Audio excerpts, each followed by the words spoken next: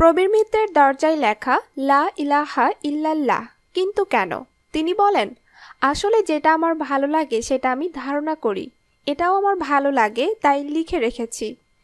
দেশের বর্ষিয়ান চলচ্চিত্র অভিনেতা প্রবীর মিত্র সেই ষাটের দশক থেকে অভিনয় করছেন, তবে এখন অনেক দিন ধরেই অসুস্থ।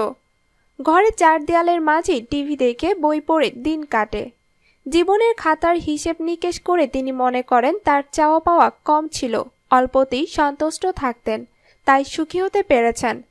চার সন্তানের জনক প্রবীর মিত্র জানান, আমার প্রতিটি ছেলে মেয়েই মাস্টার্স পাশ করেছে। সবাই ভালোভাবে জীবনযাপন করছে, এর জন্য আমি গর্ববোধ করি। তবে ছেলে মেয়েদের লেখাপড়া ও তাদের মানুষ পেছনে শতভাগ কৃতিত্ব তিনি তার স্ত্রী অজন্তা মিত্রকেই দিতে চান। কারণ শুটিংয়ের ব্যস্ততার জন্য কোনো দিনই ছেলে মেয়ের লেখাপড়ার প্রতি নজর দেবার সময় তার হয়নি। কিন্তু অজন্তা মিত্রের কথা হলো, সবাইকে মাস্টার্স শেষ করতে হবে। আর তিনি তাই করেছেন। প্রবীর মিত্র জানান, প্রেম করে তিনি পরিবারের সম্মতিতেই বিয়ে করেছেন। অজন্তা মিত্র মুসলিম হওয়ায় তিনি তার ছেলে মেয়েদেরও মুসলিম রীতিতেই মানুষ করেছেন। এ বিষয়ে আমারও কোনো আপত্তি ছিল না। স্ত্রী অজন্তা মিত্র ও ছেলে আকাশের মৃত্যু তাকে প্রায়ই কষ্ট দেয়।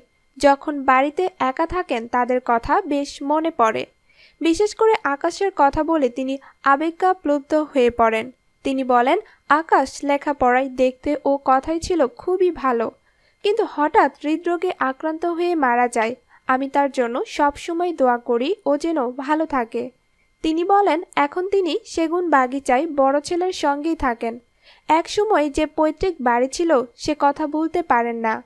পূর্বপুরুষ জমিদার হওয়ায় অনেক বড় বাড়িতেই তার ছোটবেলা কেটেছে।